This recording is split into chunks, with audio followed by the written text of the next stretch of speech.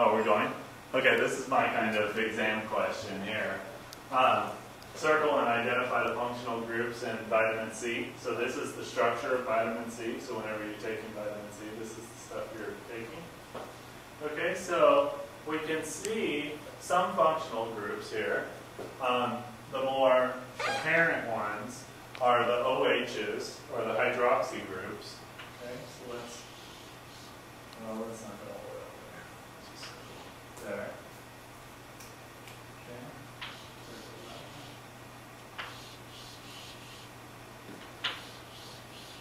So those are all the OHs. Those aren't really circles. I guess they're boxes or whatever. Um, so all of the OHs are, you can either call them a hydroxy group or alcohol.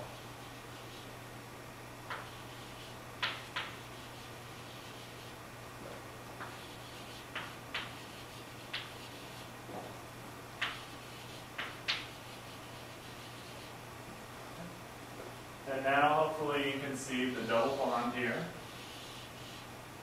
This is the alkene.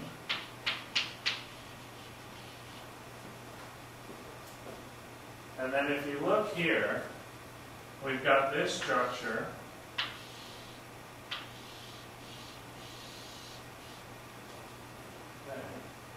And this is actually an ester,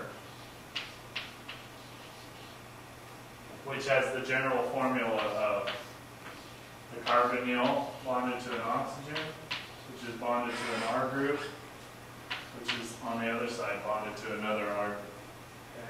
So that's the general formula for an ester. General formula for an alkene, of course,